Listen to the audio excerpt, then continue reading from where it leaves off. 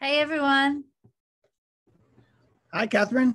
Hey, James. Good to see you. I'm so glad that your internet was uh, was kind enough to let you join our Friday fireside chat today. Well, I don't know if that's actually going to hold, but we'll see. Yeah. We'll see. Yeah, good to be here. Yeah, it's good. Well, you know, it wouldn't be the same without you. That's um, sure. Well, I feel the same. I don't think I would enjoy it nearly as much if I wasn't here. Right? there you go. uh, yeah. Okay, so we're just waiting for some people to join. We do have a few here already. Hi, Mike. Uh, there's Danny, Dominica, James D, Johnny B, Mandy.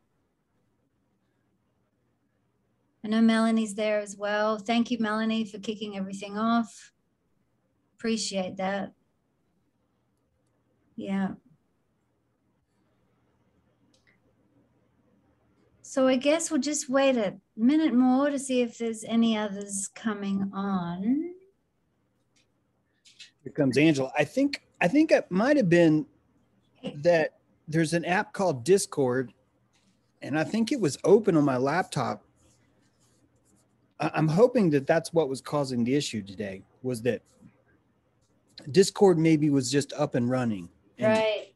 And that's a pretty, probably a pretty internet intensive app because it's all all these different groups and stuff. So that's what it seemed like. It was resource hungry. Like yeah, yeah. Bandwidth was so, just shot. Yeah. I'm, I'm hoping that that that maybe that problem's even solved, and it could have even been that ever since people started noticing the bandwidth problem could have actually been when I installed Discord. I, I, I, I don't, I haven't pulled a Quincy yet and forensified this, but, uh, but that's yeah. what I'm, what, what could be the case. So, well, yeah. we'll, we'll get the boys in the, uh, in the forensic department to, uh, investigate that for you and, and, and let you know their findings.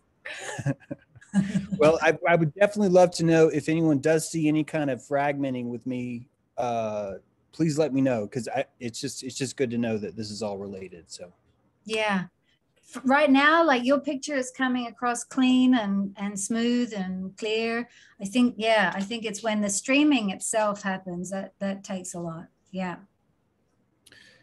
Uh, yeah, yeah. I mean, this this is pretty internet intensive too, but yeah, yeah, uh, true. But I'm seeing it all great. Like yeah. Like Mandy, I don't know, I don't know that much about Mandy, but whenever she's here, she's always like in this rumble seat, like she's on her way to like an airdrop, like over Afghanistan or something. And she's like, Yeah, we're coming in hot. But look, I'm watching my show. Okay. Yeah, we'll land, but I'm watching my show right now. Right. So just be cool, man. We got it. Can you guys hear me? Yeah. Oh, yeah. Okay, yeah, I'm in a semi, so I'm trying to um, like strap myself down, but I am bouncing around a lot. I like it. It's it's it actually shows me how well my bandwidth is doing because it's really clear is what I'm trying to say. And Angela's got okay, a fire sweet. going. Yes, awesome. thank you.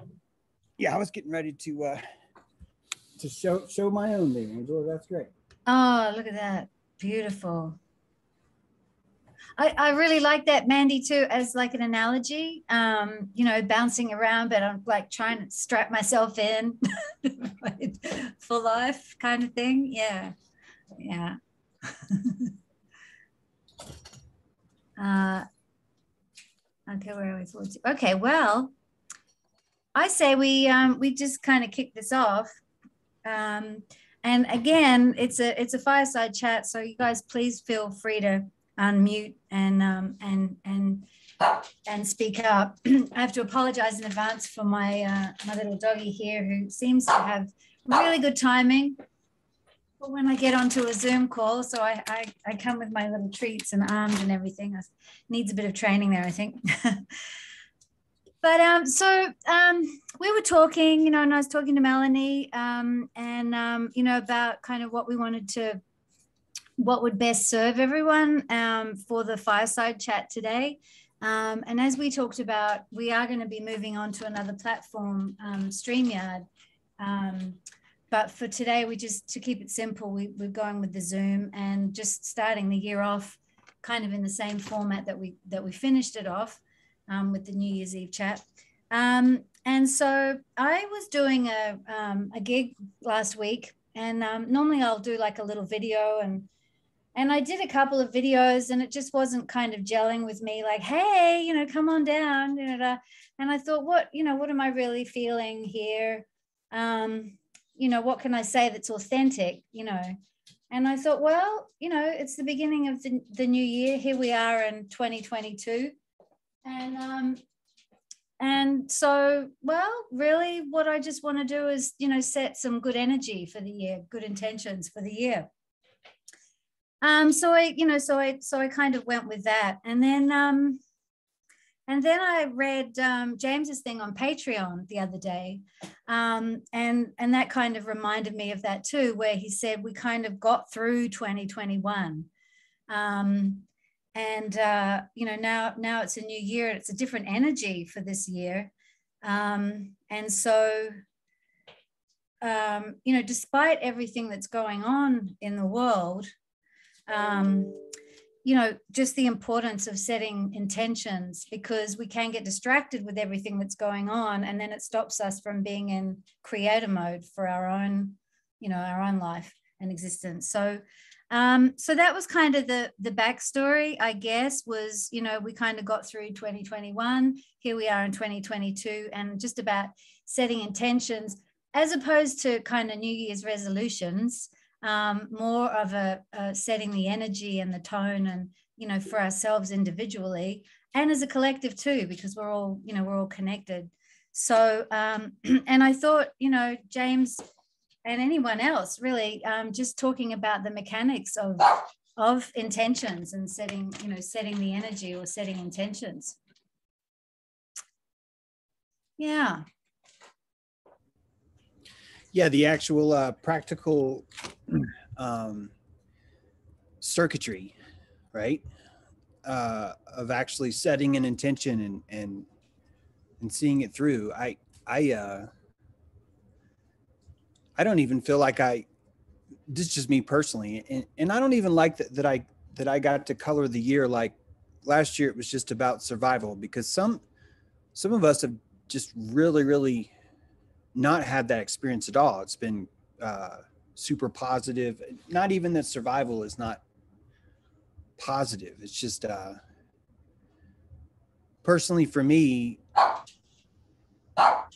I don't really even think that setting intentions is uh, is something that that I can. I don't know. I'm still wondering if if that's. I don't. I've never really adopted a New Year's resolution policy for myself. I like that we're not calling it resolution, but I have this week really tried to reflect on last week, and that's what that letter shows. And um, I know that no matter what's going on, I'm not the kind of guy that can actually like I think the most constructive thing that I can do to set the intention, I'm finally getting ready to say something, I swear. I the the most effective way that I can set a resolution or an intention, I think, is to just simply find myself as deeply as I can and engage in what I'm doing and not really want to engage in anything else but that. And that I know that when I talk about what I'm going to do, I get pretty, I feel super drained when I'm talking about something that I'm going to do or that I'm I'm usurping someone's witness to listen to me tell them about what's going to happen in the future, that kind of thing. That I I don't like that exchange.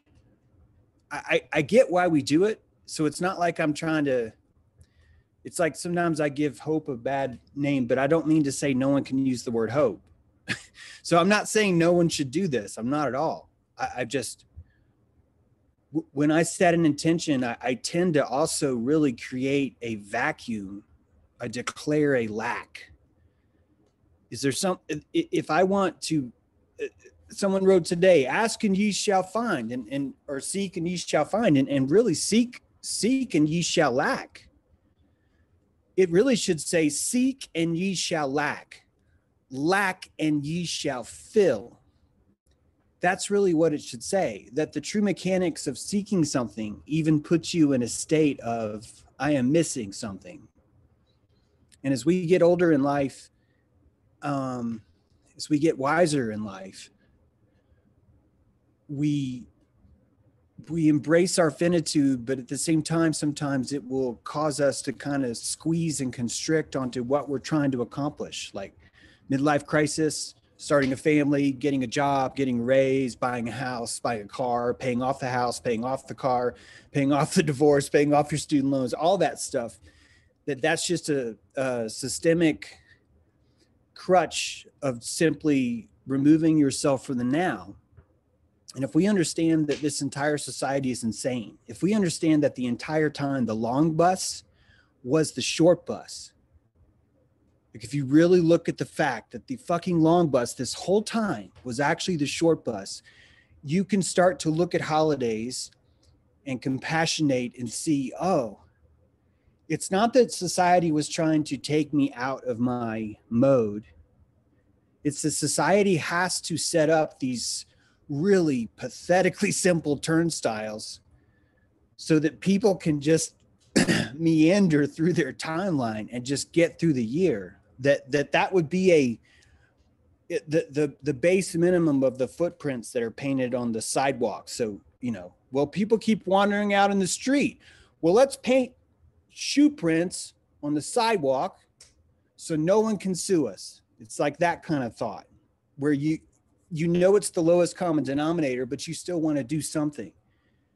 You have to do something. And when i start to look at society through that lens now so many things seem like really compassionate just nice things that, that people have done that end up just being the worst kind of mind control you could possibly imagine. But it actually really does help. The, two party system is a perfect example of that. It's like the perfect example of that. It's well what do i think? I don't know what to think do you have any suggestions? And what is what does a good waiter do? A good waitress says yeah our special is the halibut. Man it's freaking awesome. And she tells you we have red halibut we have blue halibut. And she puts it up and we can say oh that's cruel. That's a hegelian dialectic. And it is. I'm not saying it's not.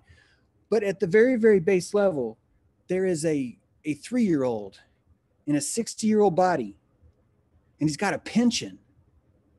He's got all this stuff. He's got this house he watches rockets take off.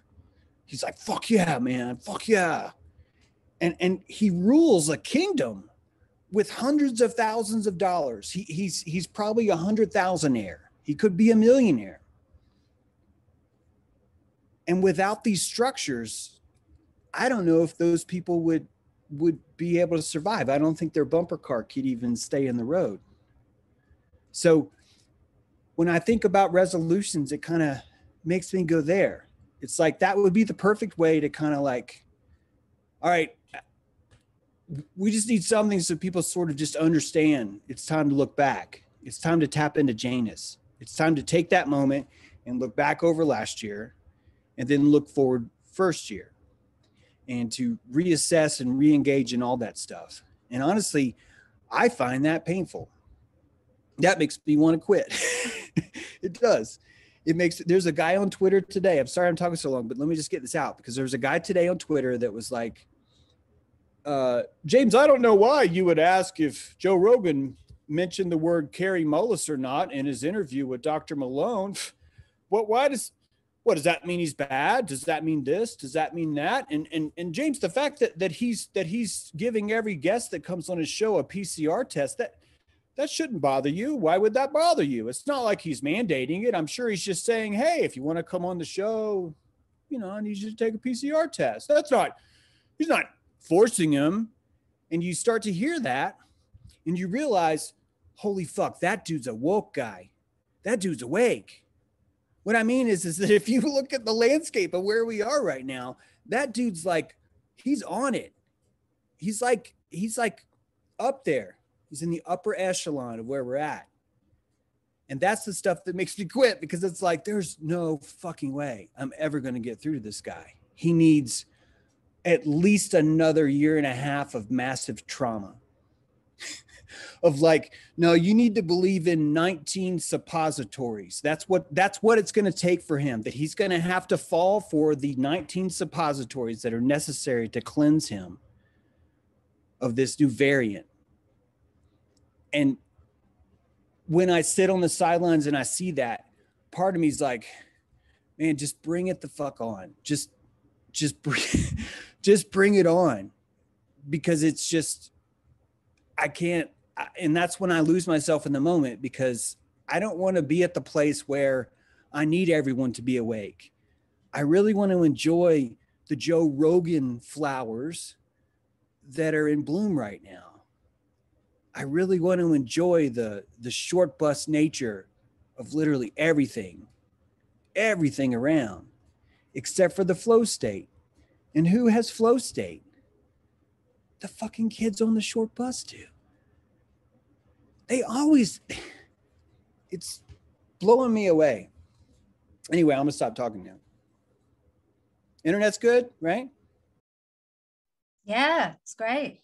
Flowing, flowing great. Yeah, well, um, you know, I guess that's why I said not, not, you know, as opposed to a resolution. Uh, and I get what you're saying about that. And it's kind of like, yeah, it's like saying you want to be over there or go there means means you're not there. Um, or I want to have that means you don't have that. Um, so I get that what you're saying about being in a state of lack in, in that way. Still a healthy thing to do, though. Like I said, I, I don't well, think that what I'm saying is right is right. It's just what happens to me right now. Yeah. Well, yeah. And uh, I think, I think, you know, in terms of like setting goals, um, just for that in itself, it is a, a way, a vehicle, a tool to focus, you know, your your mind, your thought, your direction, your energy. Um, and that can be very beneficial thing as opposed to not and just perhaps getting dragged along on some other path. But then again that could be your path. Well, that's why a sabbath is important. Like having that one day right that would be your new year you could look at that as whatever your Sabbath is. And I'm just using that word Sabbath, but you know, to to take that being self-employed, I, I, I really had to force myself to learn how to adopt that. But I always do better work when I when I have that. So see now I'm hi- hypocritically disagreeing with what I just said. It's very well, complex. And that's a yeah, exactly. It's not like black and white. yeah. So and as far as thinking about where to go this year, I don't I don't know what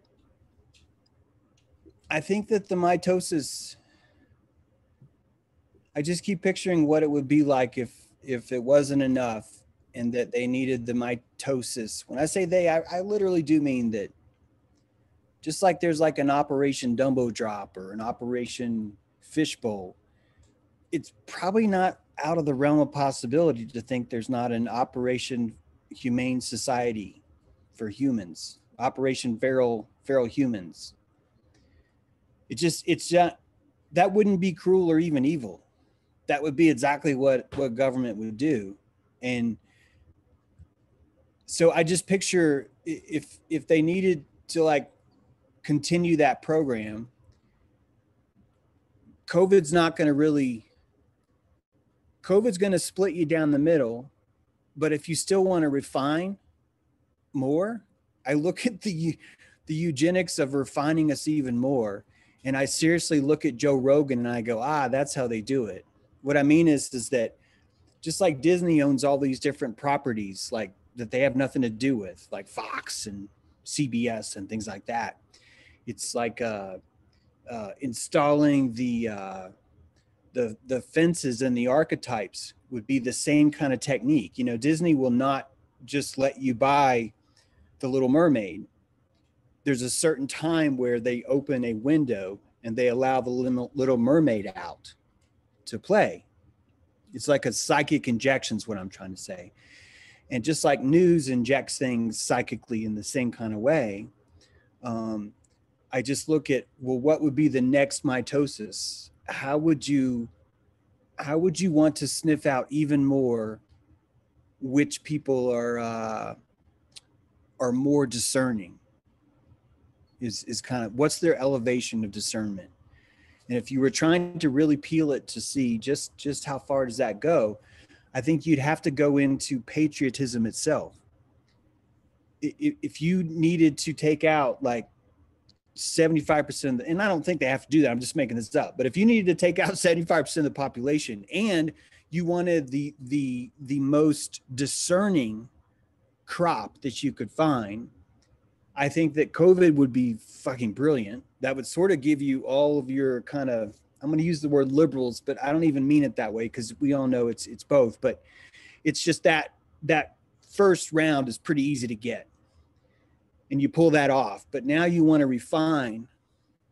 And so you'd have to kind of climb up the uh, ladder of psyops, sort of like a staircase, and say, this is our threshold, right? So you could look at the space program and say, let's let's make a Mars school, and we're going to set up this this rocket.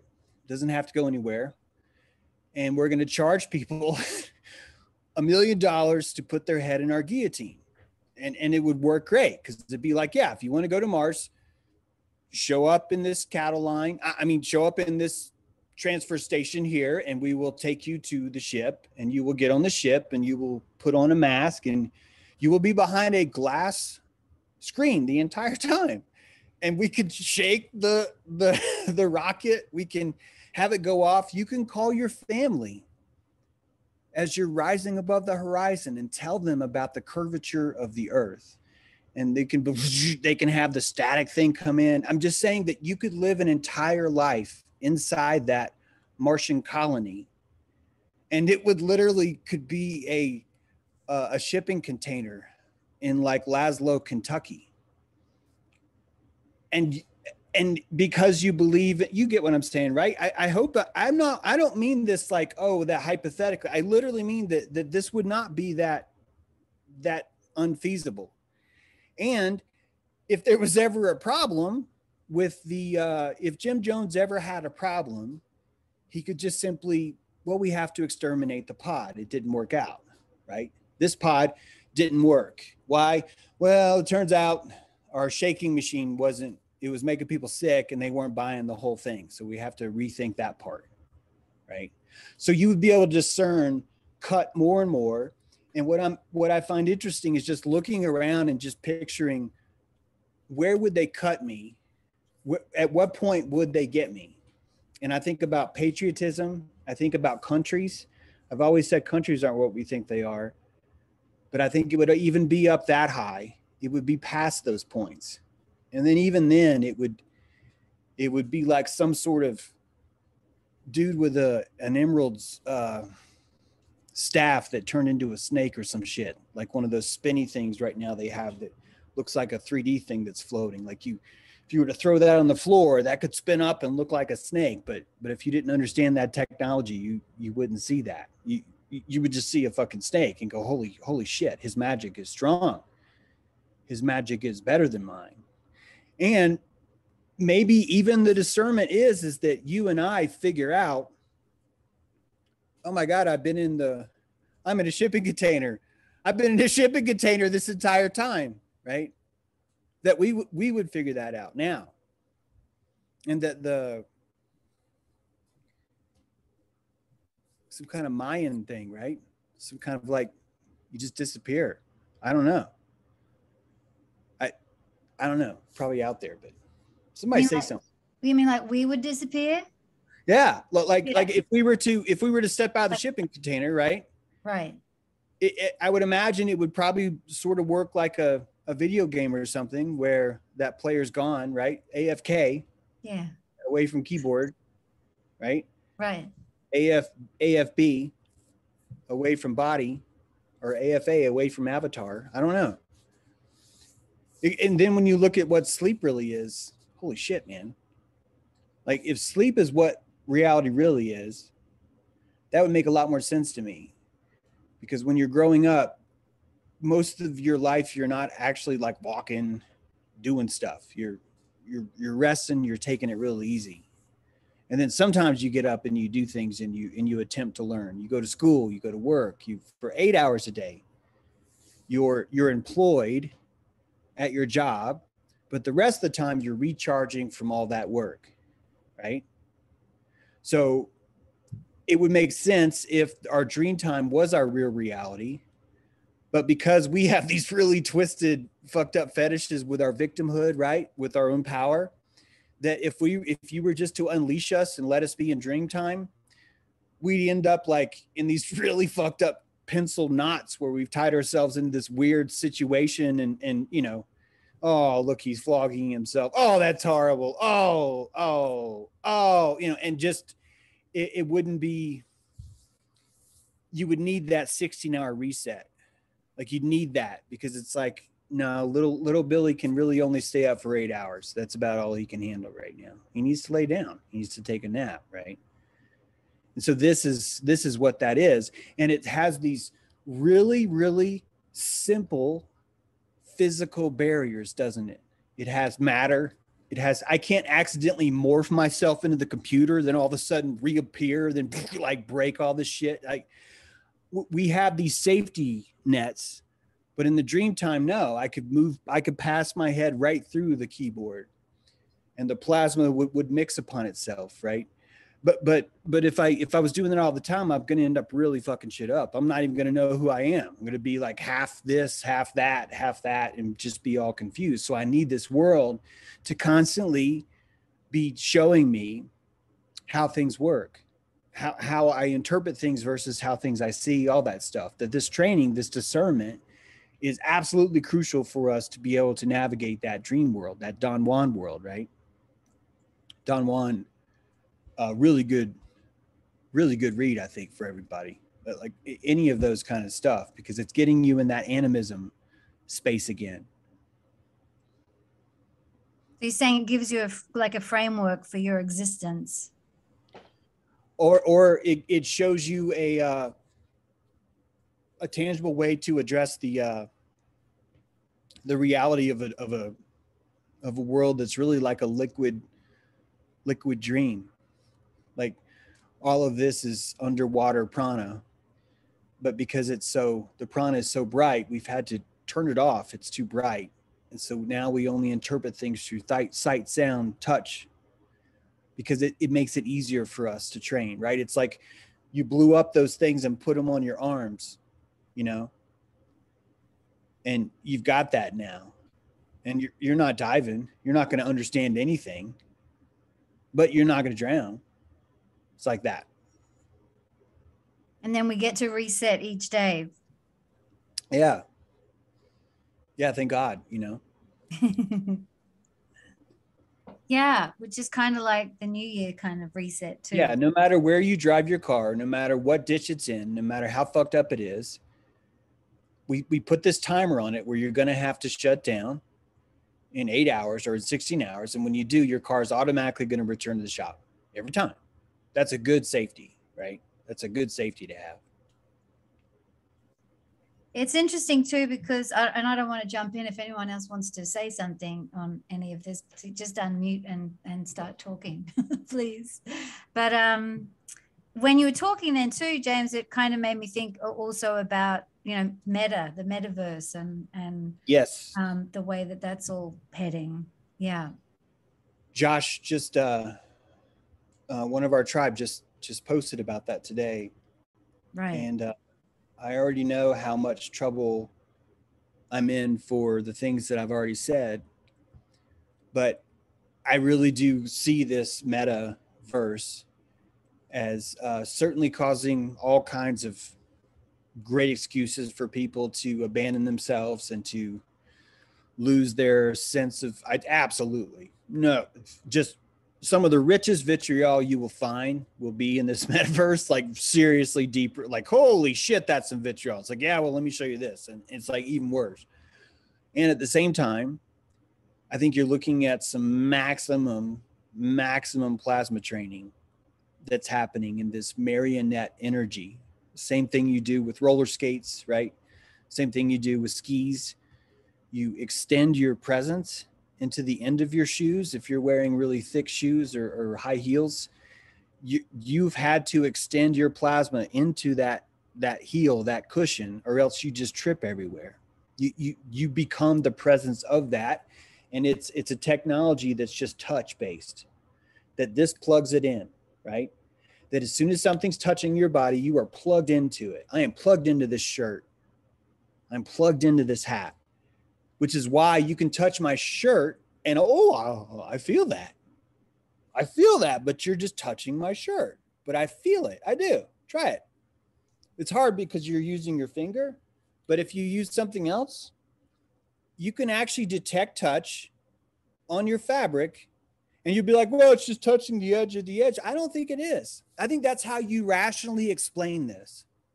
It's the same way when someone says, this is and you know exactly what they said. You're like, yeah, no, no, he, he needs a ride and he has to pee. He's drunk. But what he said was, that's what you heard. But you know what happened. Why? Because the air itself is a plug-in device. You plug in over the air. You physically see someone, you interface with their face. You now are connected to their emotions and you're rationalizing it because you're living in this world with your with your arms all blown up with the cushions in there that you rationalize it and say, "Well, yeah, that's because I was able to see his lips move." Or no, it's because he was very clear when he said this. Obviously, that's what he meant. That you would rationalize and tell yourself that when actually it's something much more profound. It's much deeper than that. This whole mask thing,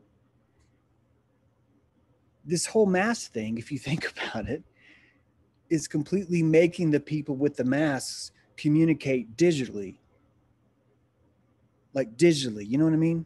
I, obviously, I don't mean through a computer, but but that's a digital interface. It, it's literally saying to these people, hey, we get that this face to face connection doesn't really work for you, right? You got the Wi Fi on and you're like, it won't connect. It won't connect. I can't connect to humanity. I don't know what's wrong with it.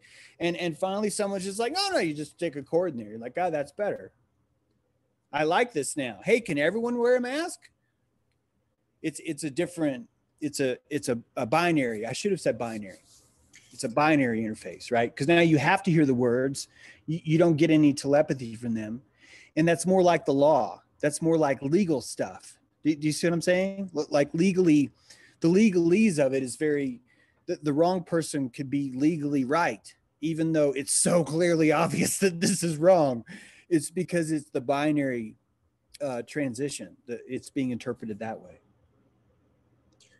I wondered, you know, um, with the whole mask thing as well, because we look, we look so, we use our our eyes so much to read someone's energy, like on their face and their facial expression and all of that, and all of a sudden, you know, you've just you're just seeing this, um, and so then you like looking more at the trying to look read the expression in the eyes as opposed to the and um and yeah and so i wondered about that if that actually might help people to tap into their other senses more you know to kind of sense sense people rather than just using this perception. That's really brilliant. And, and japanese emoji are more eye focused and american emoji are more mouth focused. Right. And that should tell you that the masking is is asking everyone's vibration to rise, to, to move up, to say stop, stop edible, no, no, no more edible communication, telepathic communication, like no more face, yeah, yeah. or telepathy, more yeah. I rationalize what your expression could mean because of I'm internalizing whether it's good or bad. It's binary. It's it's it's much in a society as as brutal as Japan is.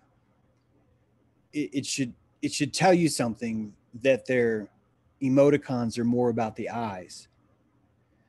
Yeah, even in their cartoons and everything too. It's like the little yeah, you know, yeah, yeah. The anime, the entire anime style, right? Which is yeah. which is fascinating because what's the fashion of America is that anime style, right? That's the fashion that America is attracted to right now. That's the fashion that the masks are invoking too. So it's it's it's sort of putting you in line with where the Japanese have been the whole time. Which One is the not for communication. Hey, August, go ahead. one of the most popular. I'm in Japan, right? So one of the most popular, and it's not an animation. It's a little character called uh, Hello Kitty. It's this little cat, Yeah. and uh, maybe you know Hello Kitty. Hello Kitty doesn't even have a mouth. She, they don't even draw it, right? The eyes are really big, and uh, there doesn't seem to be a mouth. But the designer of it, it's like it's from the 70s or something. But the, they were talking to the lady that drew it, and it's like, why doesn't she have a mouth? You know, that's like she's uh, unempowered because she. And she says, no, no, no, no. She's got a mouth, but you just can't see it.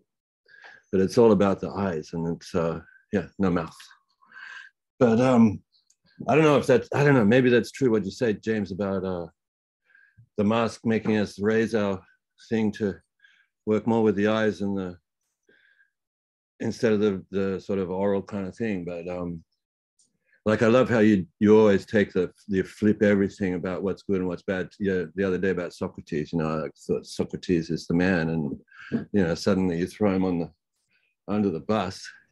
But um, Yeah. yeah. Yeah. Then you think about that, and it's like, yeah, okay, it's true. He's probably, you know, like, why do we all think about Socrates? It's because, um, you know, that's what we're being taught, you know, and it's like history. And it's like, okay, Socrates is the guy, Plato, you know, truth.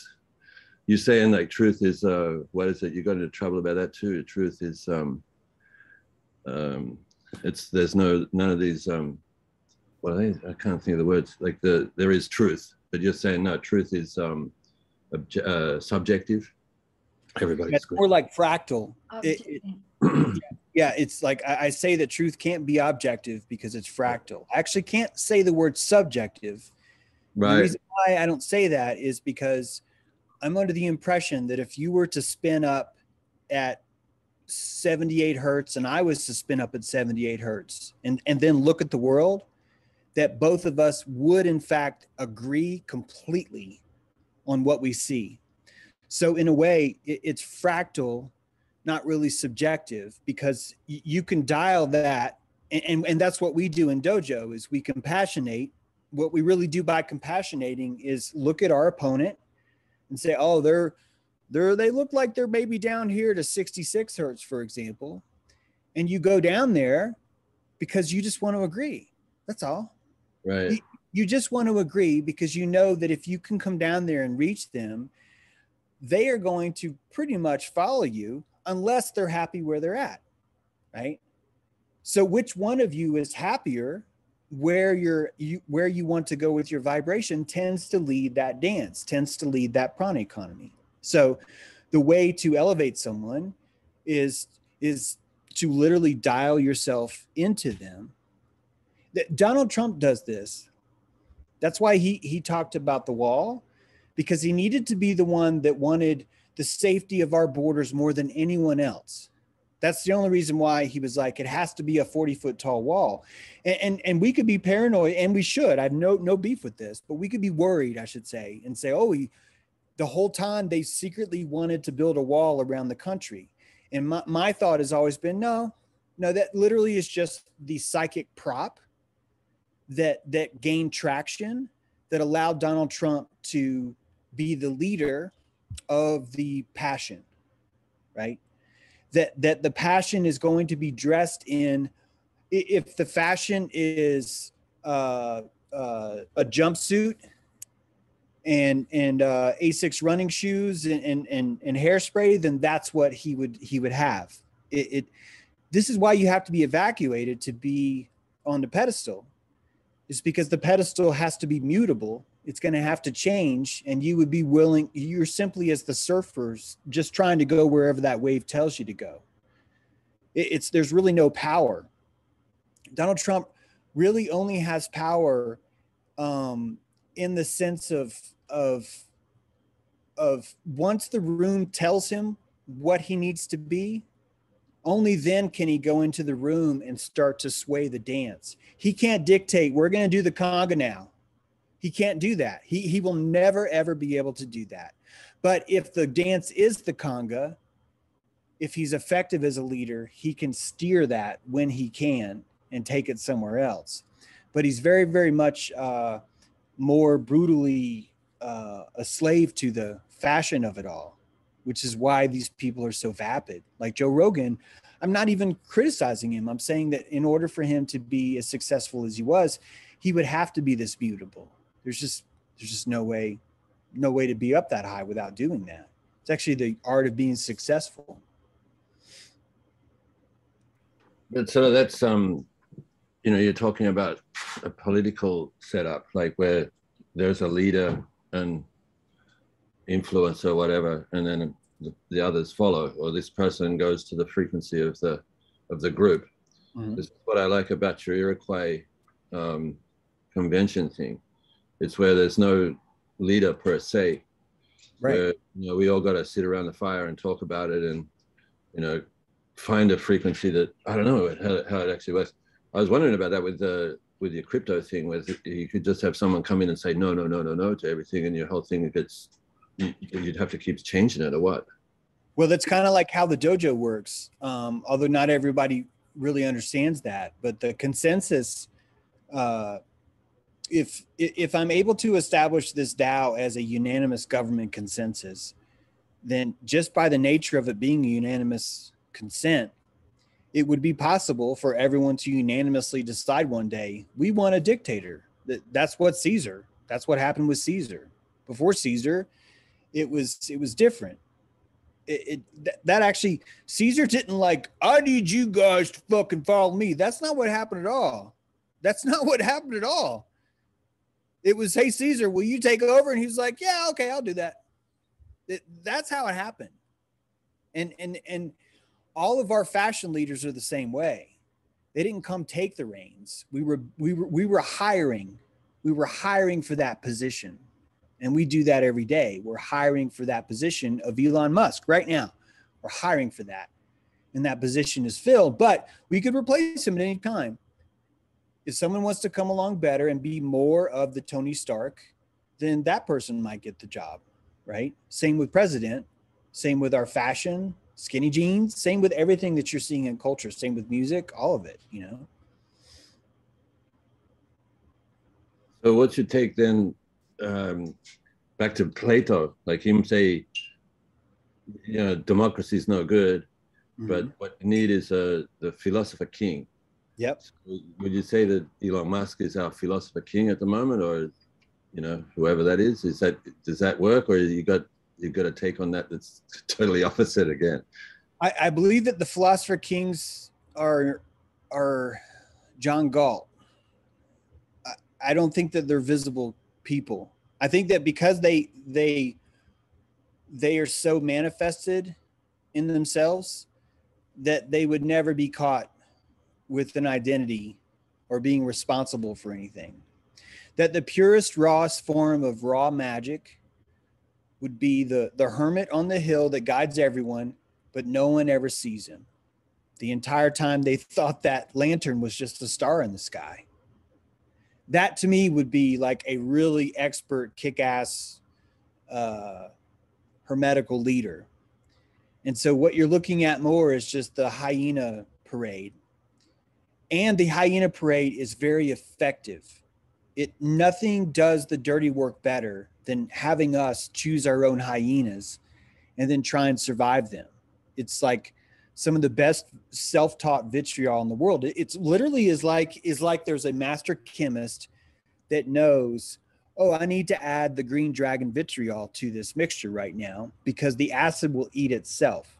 That I don't have to do shit. I don't have to stir. I don't have to do nothing. All I have to do is pour this in and just walk away.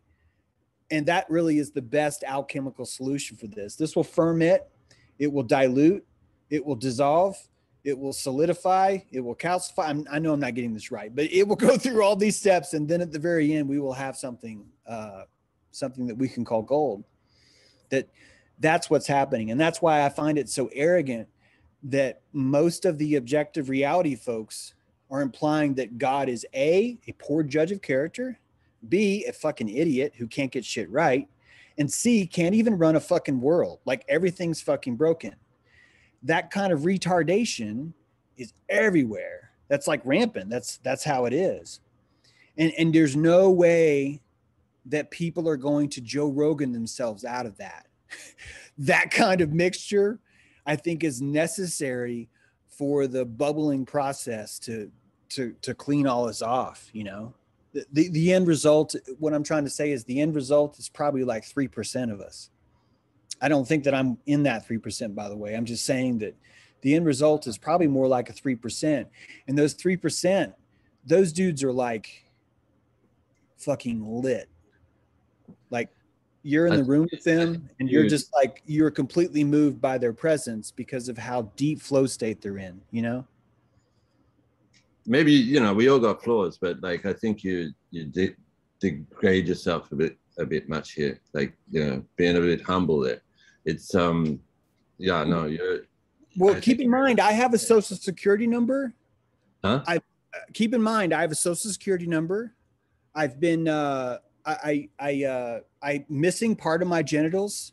I have 77 vaccines in my system.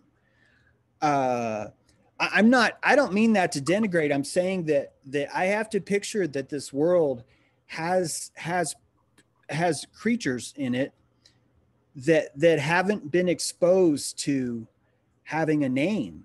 Uh, uh, I'm not saying they don't have a name, but but their name is more like Francisco Dranconio Conod. It just weird, like birds and shit fly when he says his name. Why? Because the vibration is just on such a different fundamental level that that if I was to be around that person, I would either get super angry or super upset or completely collapse on myself because of just the sheer egoic field from that person's heart.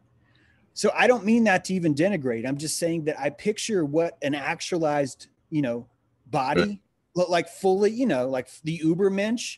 And then I picture that Ubermensch having kids. And then I picture those Ubermenschers having more kids. And then those guys fucking each other. And then you're just looking at this super race of just like really lit people. And you would think that that the more lit they would be, the less any of us would ever see them right? The less any of us would ever interact with them is what I'm trying to say. These are the people that that run the ranch from the very top floor. They're not going to be out where just any weird cow can come up to them and start fucking with them you know that that's for the rancher hands that's for the you know the other kind that's kind of what i mean I, I think i'm a pretty sharp cow like a really sharp cow is what i think and I think that that I'm kind of uh, sort of like enjoy being on the ranch and also enjoy that I can kind of bitch about being on the ranch too. It's like a real if if I really analyze myself, I fluctuate where I'm at. You're never going to be one of them. You're never going to be one of those cows that are in the container in Kentucky, going to Mars. I, it, we could be that right now, though. It could be that that's where we are right now. And, and I think that if we just embrace that, it, it actually liberates us more because it keeps us out of knowing. It keeps us from being petrified because we're just always in flow state. Like uh, any of this could change. The veil could open right now. I don't even know if I can actualize that. It's just that that that's what it feels like. If if I was more maybe successful maybe eh, what I mean by successful is more about if I was more autonomous, I think I might I might feel less like a cow. But I'm still really, really locked into this world, uh, the constraints that it that it gives me. I I'm I'm nowhere in uber Ubermenschy is what I mean. And and I, I it's kind of cool though because I I just see how how much potential we have. Fuck. I mean, we.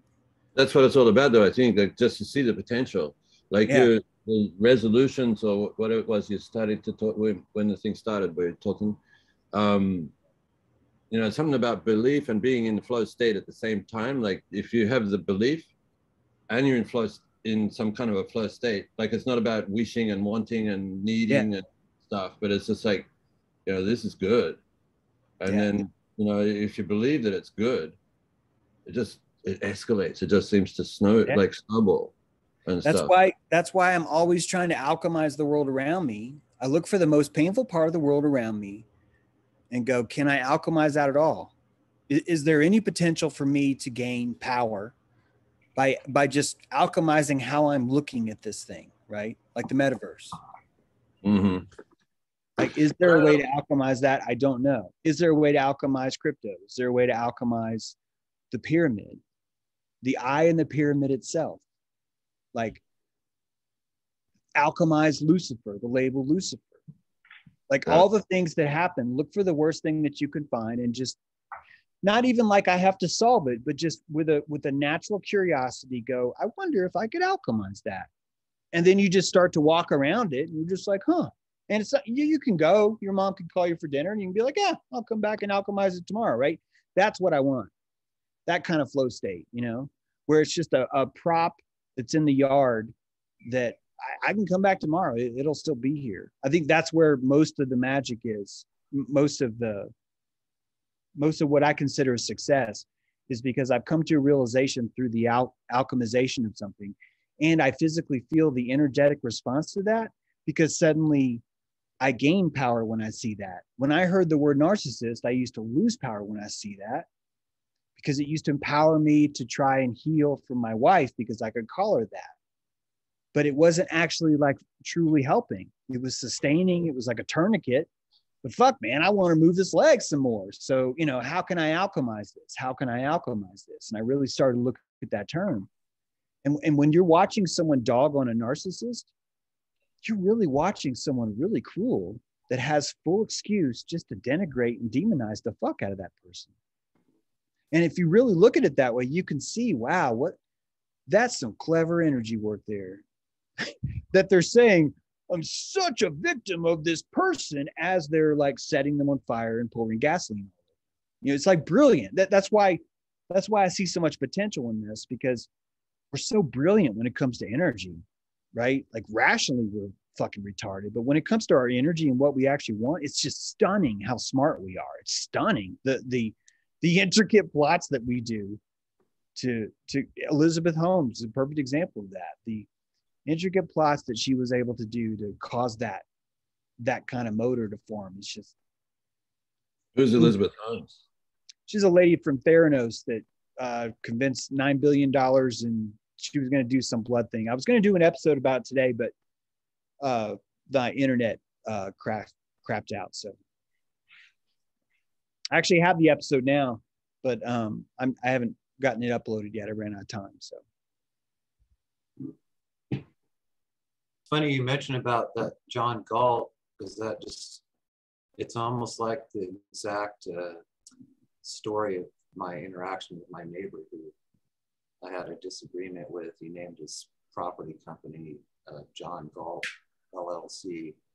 kind of gave me a big clue. I'm like, well, this guy, you know, I might as well treat him as somebody who seems like fucking with people as a hobby, you know. and so the way it worked out was he had he had poured this uh, concrete when my mother-in-law was living here and didn't admit to it but then uh, well he didn't admit to this damage from the his tenant's uh, swimming pool that drained and put a big rut in it.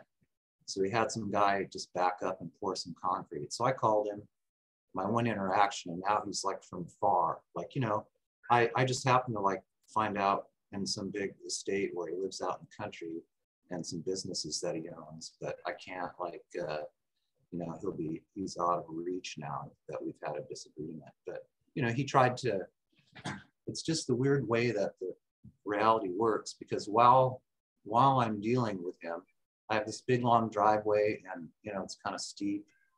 And uh, I called him up and I said, well, what do you think about that? Uh, you know, I go, I wasn't I, I don't really want a concrete driveway, especially not one that that ruined the grade. And then he suggested we do a curb cut and he would split the cost. And I'm like, "No, I think I'll, I think pretty much sure that I'll be in charge of the driveway now.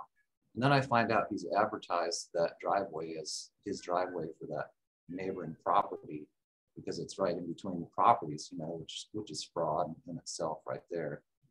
But uh, anyway, so I I rejected that, and so then I'm out there over these last couple of years with this demolition hammer and various tools that I broke, like cracking up this concrete.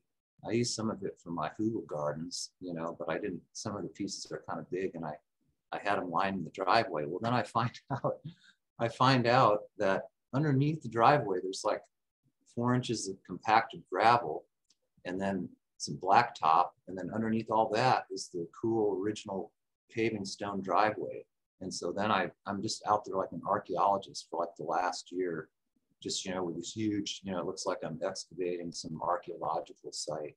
And so he didn't even damage shit because it just turns out actually did me a favor because he gave me a reason to dig that up. And then, and then my other neighbor, they changed their drainage ditch with these big quartz rocks, uh, which would have like totally flooded my driveway. And then so I used that concrete that I broke up to create my own rock drainage ditch, which uh, just diverted the, the water like right around my property. So it never even, you know, I didn't, I just didn't want all that water, you know, but I'm just saying, totally transmuted the vitriol into, into a multifaceted thing that worked out.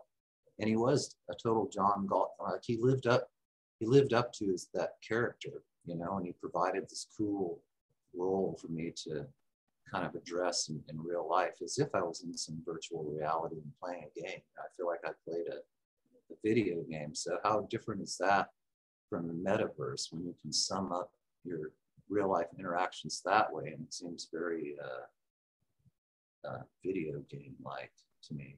You know, I'm not even a video game player, but you know, just what I imagine it's like to immerse yourself in one And if you think about the mentality of someone that that doesn't see a difference if they're wearing a mask or not, the metaverse would would be a really good training tool for them. Like it, it would be the only way that you could even get them to think about uh, animism.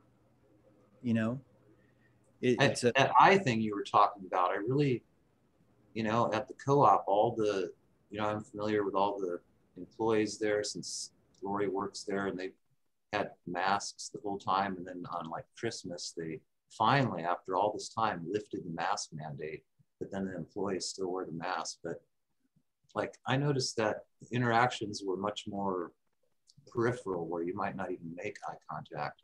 So it's actually like a completely different kind of an interaction, you know, and maybe it's partly a personal thing where I, I tend to like avoid eye contact or I just feel like I'm I always feel like I'm staring at somebody if I if I look at them in their eyes for. But then now there's no other choice, and so yeah. now it's commonplace where you're making this deep like eye contact connection. I actually kind of like it myself. Maybe yeah, I could see how you know? how it would make everyone have to kind of be at attention more. Yeah, it's a different kind of. I mean, I don't like. You're, you're having to watch. You're having to stalk the entire time. You know. But I like having a reason to like that you're gonna like you're gonna be looking at each other in the eye.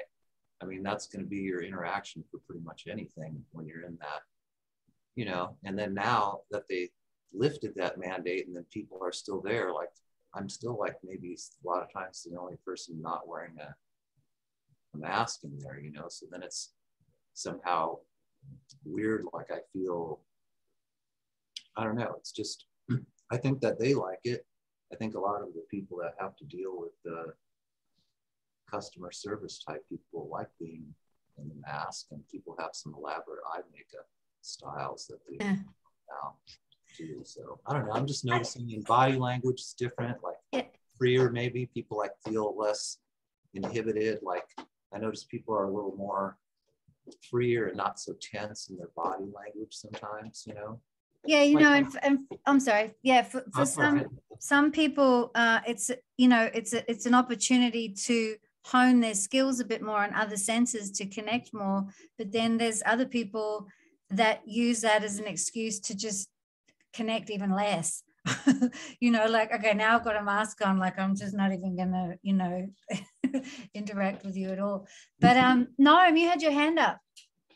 Not that you have to have your hand up here but go ahead um, I just didn't want to interrupt the flow. Uh, yeah. But um, so when we talk about the multiverse, um, I have played uh, some games, some video games where I was involved with different sizes of communities over different periods of time. Like one of them uh, over a couple years. Uh, and one of the things that I think will be interesting for me to see with how the uh, metaverse thingy kind of starts to shake out is the notion of anonymity, anonymity, like that you're on, like at least most people perceive that they're sort of can be anonymous online, especially in games. A lot of people perceive that. Um, and it kind of reminds me of like where James has talked about the notion of atheism is that way of having privacy uh, versus the idea of a God is almost what like that perceived anonymity through the internet is to like that religion of science. Like it is that playground where you can sort of be anonymous. And when you think about the whole social credit systems and how those could get tied into aspects of metaverse and that kind of thing, it could be the complete opposite where you suddenly have no anonymity to anything that you do uh, in the metaverse. And I think that could dramatically change how people interact. And so I, I just, I've seen so many interesting things happen from people having that perceived anonymity um, that I think that's going to be an interesting factor of how that metaverse is expressed how people interact with it. Yeah, yeah. Like when YouTube first started, you know, you'd read the comments and it'd be like, fuck you, you fuck, fuck, fuck. You know, it was like total free reign. And uh hmm. YouTube kept like putting filters and putting filters and censoring and really, really Facebook really solved that simply by by giving your identity a reputation, so to speak, that because you had a name associated with you, it just eventually became expensive. But the whole time while I was that was happening, I was really wishing that that that they would allow the the fuck fuck stuff just to thrive because it's a to me, it's a purer, faster form of vitriol. And I wish that the meta had the same thing with anonymity. That I think the anonymity would lead to a lot of insane behavior, like a lot, and it would be nuts and it would be totally not something you'd want to live in. And I think that it would it would get us so much closer if we would just do that. It's kind of like taking a dog to a dog park and you know that that dog has some serious nervous energy but you also know that if you just let that dog down in that dog park that it's going to work out that the pack is going to regulate and that that dog is going to be able to adjust not all the time but but if you it's the same kind of a thing versus taking the dog that's nervous into the dog park and keeping him on the leash the whole time because now he's like nervous as fuck. He doesn't have his own autonomy. He can't run away. He can't do anything. So he's even more terrified. And the process takes even longer for him to normalize because he doesn't feel that he has the freedom to express himself, i.e., to regulate, which is why I think if we could just unleash each other in that and even enjoy that fuck, fuck, fuck phase, just like, wow, that's pretty interesting, Tom, that that would even be good work for you to be able to dive into that mosh pit and go, wow, this guy's really angry right now. And for you just to learn how to regulate with that. Like th- that's a really good dojo work, is what I'm saying. But we've stifled that by making it no, we have to make sure everyone's polite. And so the the whole reputation thing, you know, is going. I, I don't see a a realm where the meta will ever be have anonymity. I'm talking about the corporate meta. I just don't see that ever them ever letting that happen, which sucks. When I say them, I'm just talking about the company meta, the companies that are running this. They're gonna they're gonna want your identity tied with it. The internet computer project is a, a token project right now. It's a, a token you can buy, but the internet computer is a uh, um, it's a token that actually has a machine language built inside of it. And the idea is that every single thing on the internet could be inside of this internet computer. And the entire thing would be a computerized, tokenized world.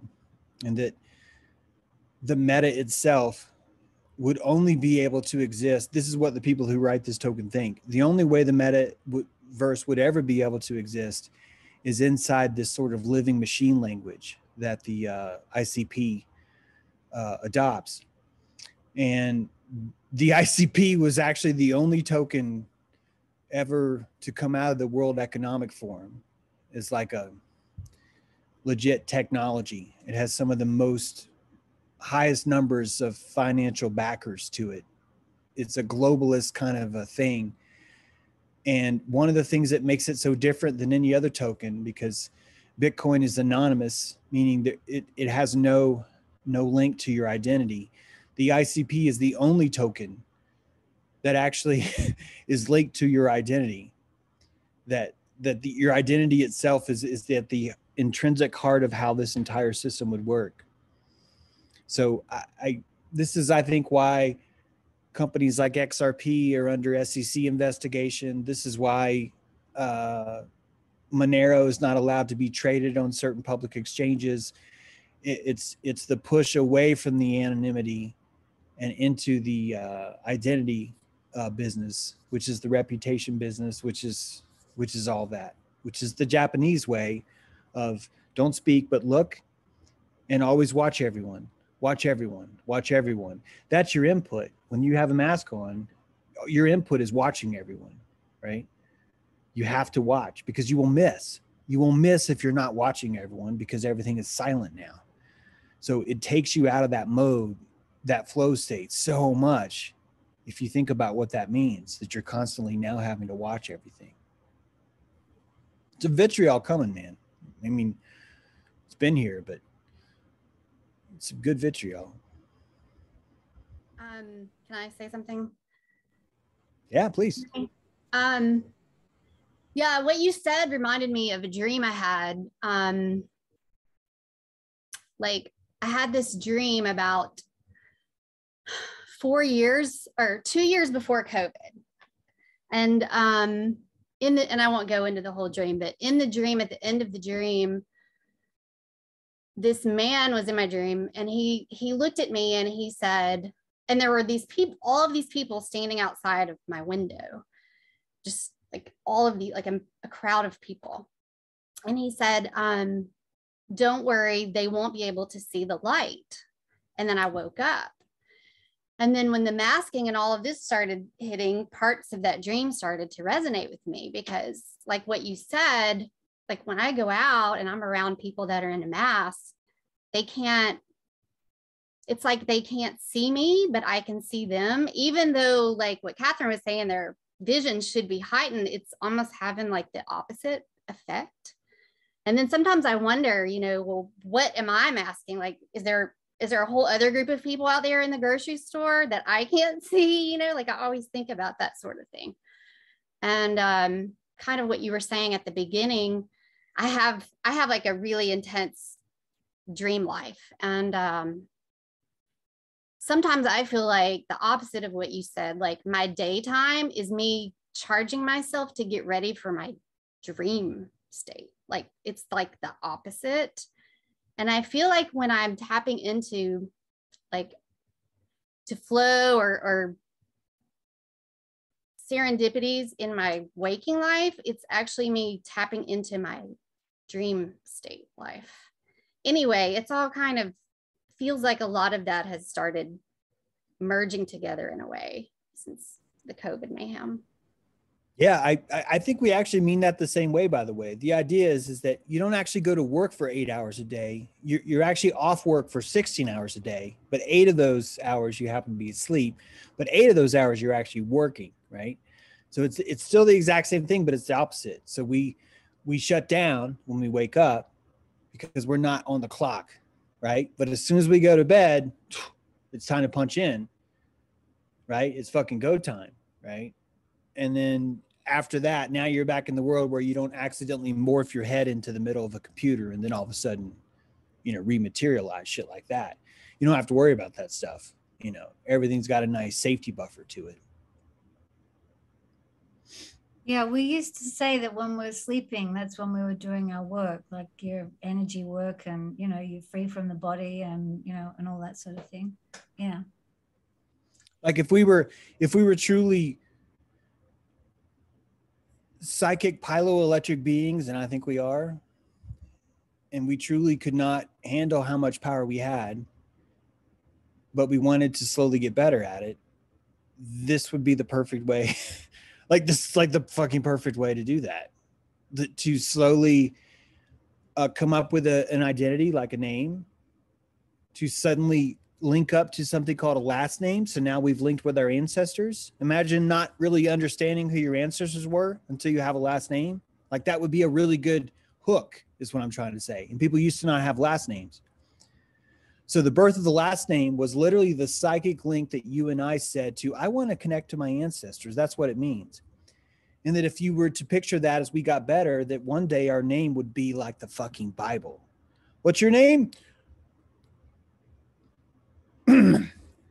Adam beget Tom, beget Jane, beget Bob, beget Doug, beget Ranch, beget, you know, and you just go, that's your name.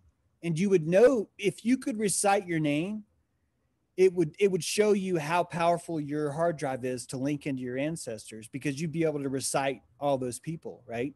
So you could even look now at your field. How far back can you look in your ancestors? That's how much dna memory plasma memory that your ancestral line has which is why you can see further back but someone like me maybe can't you know i can only see one or two generations or whatever so all of these things are more symbolic than we think. We purposely try and trivialize them because we don't want to really think about all that weight that we have to pick up as soon as we punch in when we go to sleep. Because then all those things are profound and they mean something. So that's your last name, that's your name, that's your social security number, all those things. Now you have a credit score. All those things are energetic reputation and pride, aren't they? And you could look at a world where we didn't have pride, where we loved our victimhood, we loved our slavery, where we wanted to be sharecroppers because it literally paid us, it allowed us to survive through the winter, and that we needed someone to poke us into a reputational pride sense. And then we fought back on it. Oh, but ego's bad, all that stuff. You, you could just see all this unwrapping this way. And when you start to unwrap it this way, there's no more shedding because you're looking at a perfect system. My God, it's perfect. Like it's perfect this way if you think about it this way. And we're painting now. We didn't used to be able to paint. We used to only be able to paint maybe in ochre, right? Maybe we only had one or two colors, but now we're painting in just 256 million, you know, 56 million colors. That's amazing. And all of us can recognize those paints when maybe before we couldn't. Music. We used to have maybe three notes you know it's like no gut string make low g boom you know that was that was it that was what we had and, and we got intricate now we have chromatic scales now we're talking to each other in like augmented fifths and we're like holy shit did you just say augmented fifth and it's like yes me discover augmented fifth now when it used to be noise and augmented fifth used to be just fucking noise and all of a sudden it has this deep rhythmic kind of romance to it it's like Darth Vader slow dancing. It's like the weirdest fucking sound ever. But we know that now. We're tuned into that now because our fidelity is increasing, not decreasing. So, this whole world is evil. Why the fuck is our fidelity getting better, not worse? Why are we gaining access to our ancestors, not losing it? Why do we even have a concept of a family? If this was truly about enslavement, I would wake up and go, my mother is machine that give me pellets. She my mommy. That's that's what it would be like. And it would be so easy. It would be so fucking easy. But it's not that way. It's literally the exact opposite. I was not stupid enough like my father was to fall for the Vietnam War. I wasn't. I mean, actually, I enrolled. So, okay, maybe I, I was. Just got lucky. But we're learning. I'm learning. It's progress. It's not digress, you know? Congress. Yeah, it's progress, not Congress. Holy shit, Congress. It's literally the opposite of progress. That is so fucked up, y'all. That is so fucked up. It's so fucked up. It's right there. It's just like, no. Yeah. No one look at the gonad. Don't see it. Don't see it. Have you read James the book uh, Chester G.K. Chesterton book uh, The Man Who Was Thursday? Are you familiar with that? No. Well, it's it's it's a book about a, a mob led by Mr. Sunday. And so this guy tries to infiltrate the mob and he, he's able to do it and he becomes Mr. Thursday. So Mr. Sunday has these six henchmen. And as he gets in, there's there's one for each day of the week. And then as they slowly start to become aware of each other, Mr. Thursday realizes that Mr. Tuesday is also an infiltrator trying to do good. And ultimately, the ultimate end is that Mr. Sunday is actually God, and the whole, all of these people are infiltrating to try to do good into this evil mob. But the evil mob is Mr. Sunday, who is God, who is doing that to teach them, you know, teach us how to stand up, like just like you're talking about. It's a really interesting book. A a a a, a uh, the, wait a minute. Uh, Annuit the Great Seal says Annuit I'm- I'm sure I'm pronouncing that wrong. Uh, let me show you this. Google Chrome. Uh, share. Oh, it won't let me share. But um, uh, it, it, on the Great Seal, it says Annuit C O E P T I S. And the literal trans, translation is is God has shown us favor. God favors our undertaking. God favors our undertaking, is what it says. And then Try- underneath it, New World Order, right? Try sharing again. Um, Might have just been a setting on here. There you go. So I knew it. Quapta, sorry, I don't. I just don't know how to say that. but God has given, has favored us creating these stairs, us creating these 1776, us creating this unfinished pyramid, not finished, unfinished pyramid, and that this brings us a new order for the ages. And if you've eliminated all of your victimhood, then you have to alchemize the Great Seal. You have to. And so you're looking at the Great Seal and you're staring at the Eye of Providence and you're like, how is this helpful? How is this helping me? And that's really when you start to, anonymity is the lack of the Great Seal. To be anonymous, to be atheist, right? To live in a vacuum is to have no witness. And that no witness would give you liberation to explore just how evil you could be, or how sinister you could be, or how defile you could be, all that stuff. It's only when you introduce an, a witness to the scene. Now, what is consciousness? This is what's so fucking fascinating. What is consciousness? It's just fucking witness that neurologically you get enough neurological agencies that formulate enough levels on top of levels on top of levels that you start to manifest what you and I call consciousness, which literally would just simply be the ability to stalk your neuro agencies responses. That really all your your identity, if you really think about it, your identity is the awareness behind the neurological systems that you're just watching run. That if you truly step back and watch, you are the awareness. This is what Eckhart Tolle talks about, right? You are the awareness behind that. You are the consciousness. That's it. You're not even the person. You're the consciousness behind that person. That is this symbol. This is the symbol for consciousness. This is. This is giving consciousness to what? The fucking pyramid.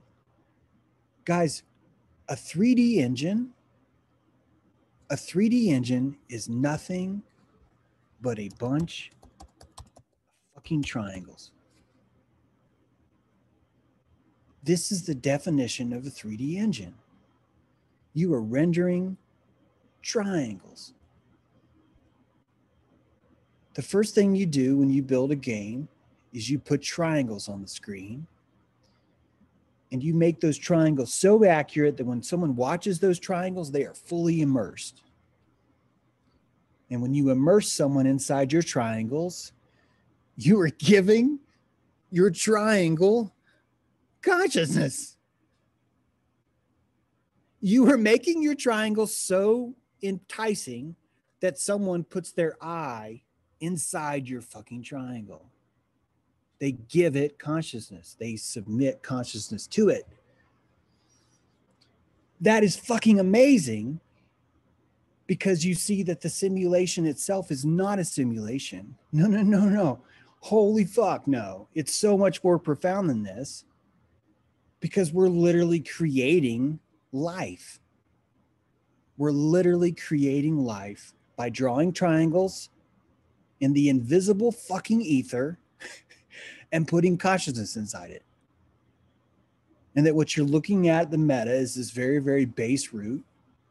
And that it would be very easy to imagine that this world itself could be pollinated, not with the nutrients of the earth, but with your consciousness.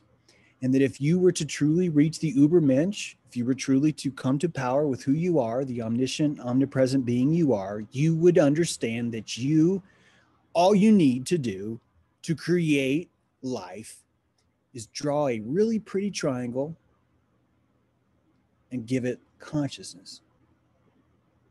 And that triangle has to be covered on every side.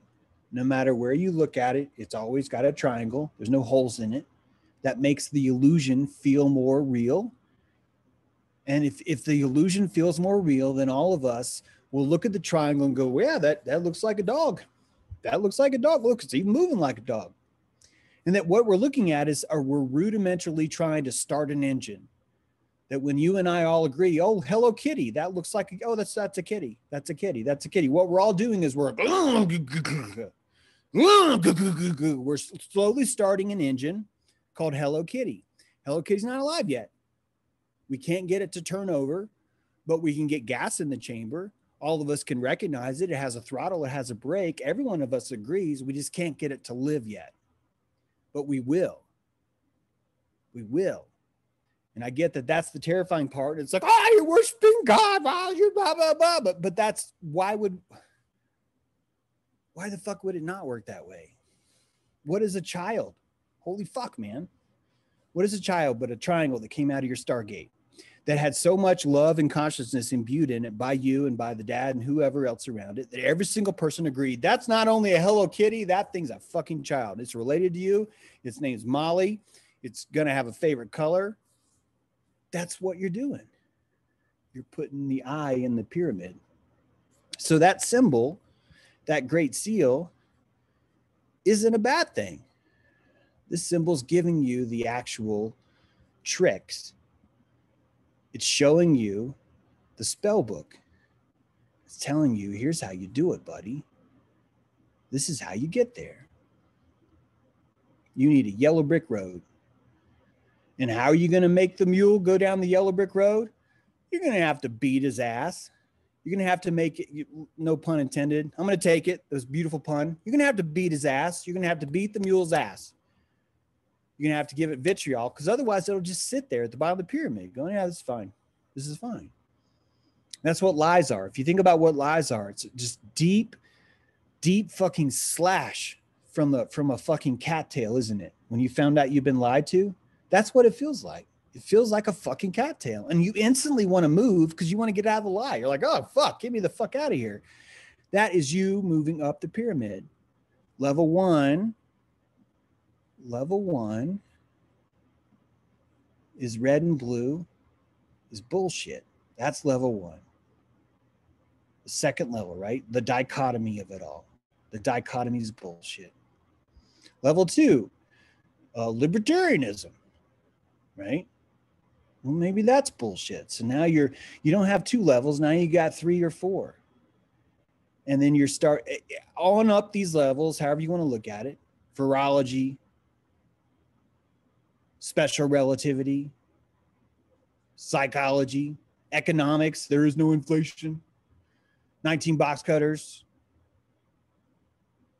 all of these things are getting you higher and higher to the top in a voluntary way. It's not forcing it, it's simply making it so uncomfortable that if you're aware of it, you would find it untenable and you would raise yourself up. That's that brilliance of the alchemy of like, oh, I'm just going to let this sit. I don't have to stir it. I don't have to do anything. This thing sorts itself out. Because as these yeasts or or spitting in the vitriol. They're like, I don't like the hyena. I'm going to raise, and now you're the yeast is higher, and it's like, oh, I like this. I'm fine. Or no, this still doesn't do it. I need to raise up higher and higher. There's there's your pyramid.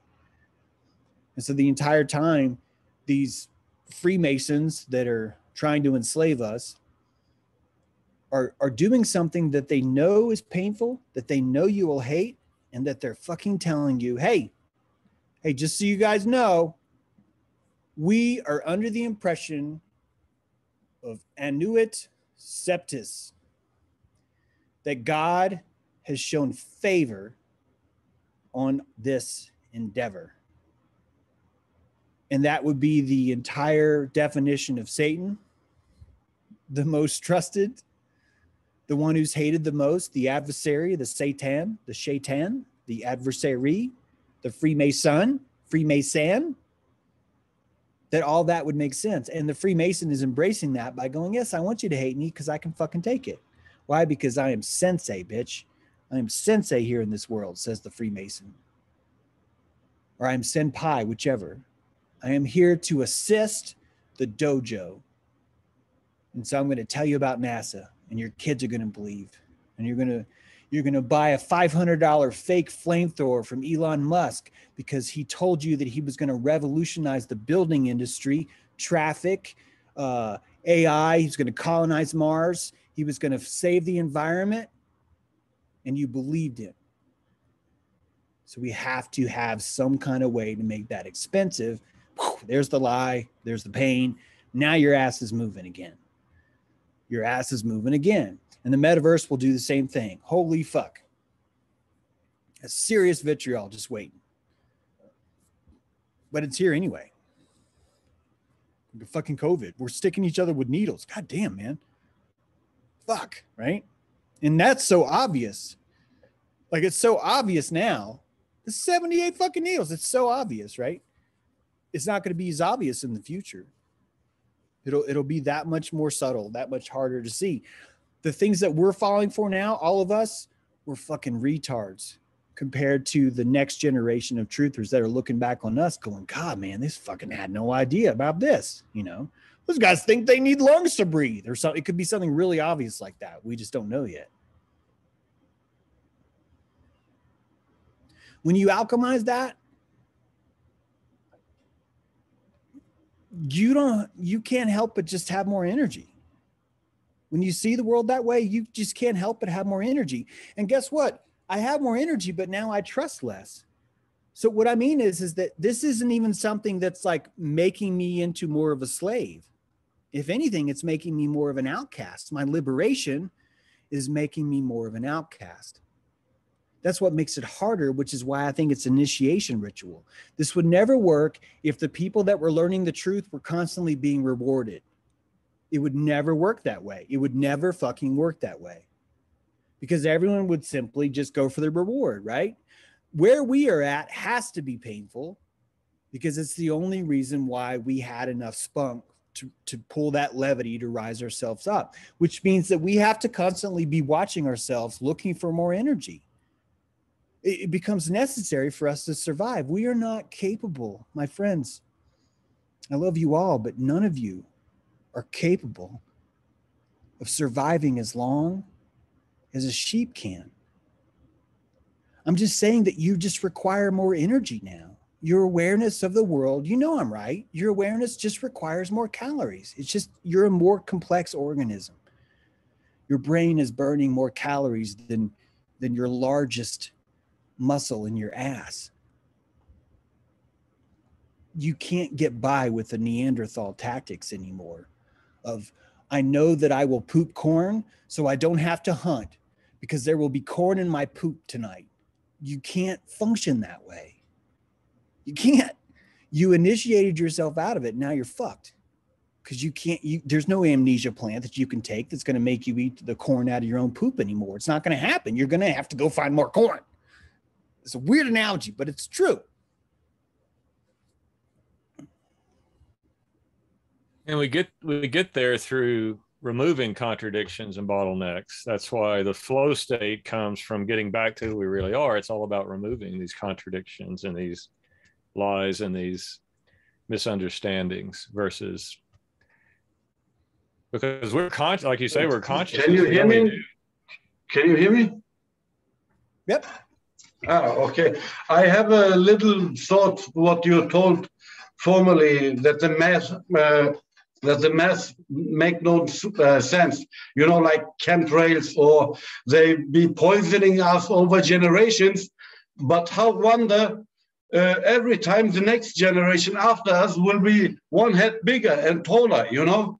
But all the poison all the crap and, uh, and I think okay, most of us eat this shit uh, really in the- in the cities, but we get uh, smarter, we get taller. Yeah, somehow the curve looks uh, stats go up, not down. Then uh, um, I'm totally with you that uh, what want to make you dumps you down in this in this realm want to test you if you are fitter than that and rise up above this.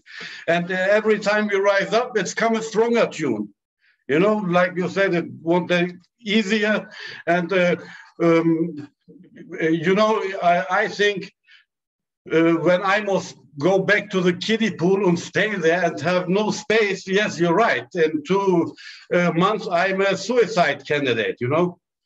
Uh, yeah, exactly. Um, your thought was amazing. Um, yeah, I'm out for now.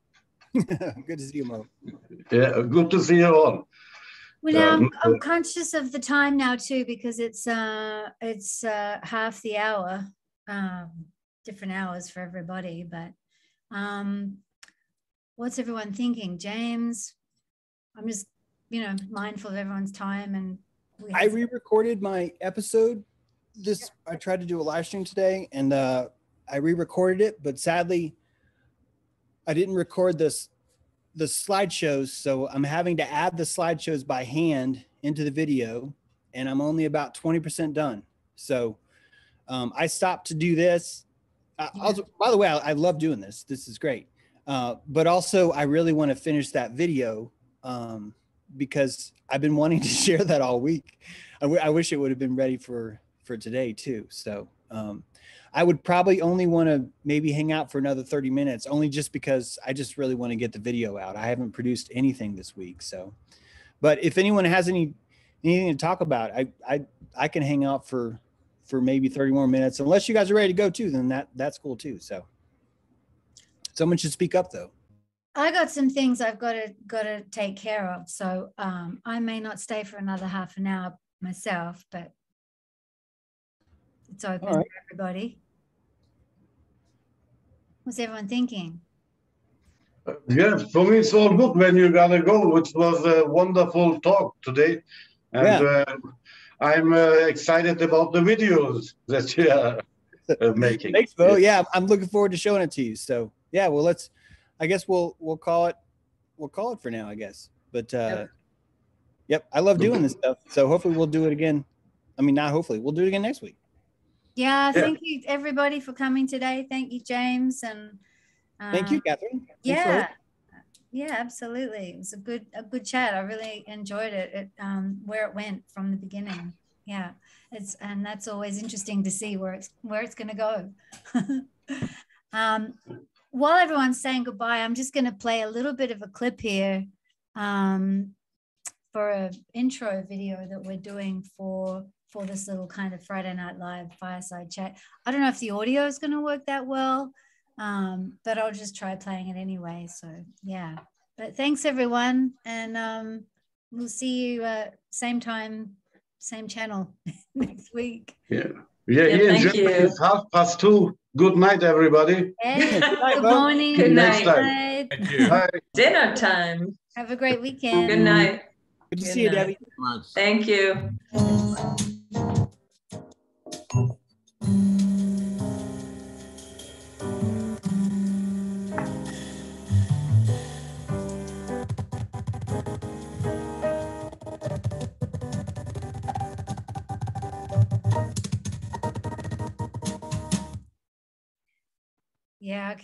That's that's that's jolting a bit, isn't it? It's that whole bandwidth thing again.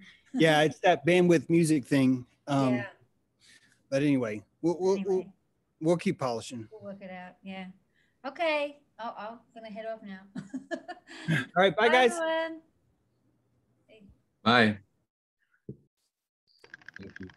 All right.